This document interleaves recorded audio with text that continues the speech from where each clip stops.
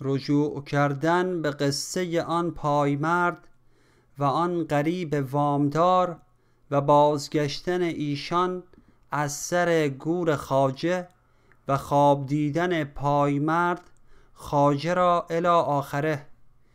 بی نهایت آمد این خوش سرگذشت چون قریب از گور خواجه بازگشت. پایمردش سوی خانه خیش برد. مهر صد دینار را فا او سپرد.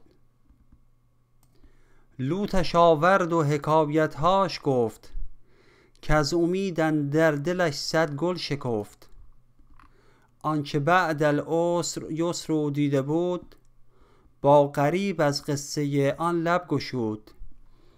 نیمه شب بگذشت و افسانه کنان خوابشان انداخت تا مرعای جان. دید پامردان همایون خواجه را اندر آن شب خواب بر صدر سرا. خواجه گفت ای پایمرد بانمک آنچه گفتی من شنیدم یک به یک. لیک پاسخ دادنم فرمان نبود. بی اشارت اشارت لب نیارستم گشود. ما چو واقف گشته ایم از چند و چون و چند. ما چو واقف گشته ایم از چون و چند مهر با لبهای ما بنهاده اند. تا نگردد رازهای غیب فاش تا نگردد منهدم عیش و معاش. تا ندرد پرده غفلت تمام تا نماند دیگ محنت نیم خام. ما همه گوشیم کر شد نقش گوش.